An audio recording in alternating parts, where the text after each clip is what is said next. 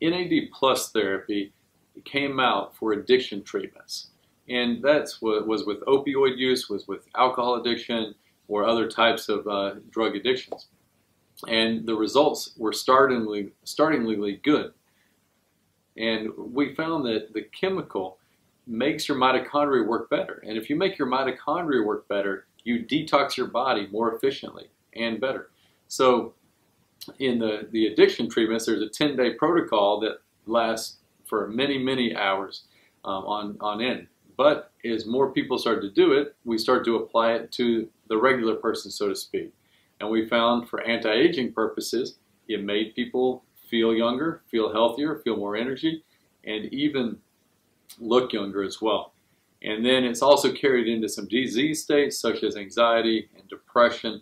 And we find that these are extremely uh, beneficial from the NAD plus therapy because once your mitochondria work better, your body can detox better, you can think faster, you can have more focus, and we think this is the reasoning behind that.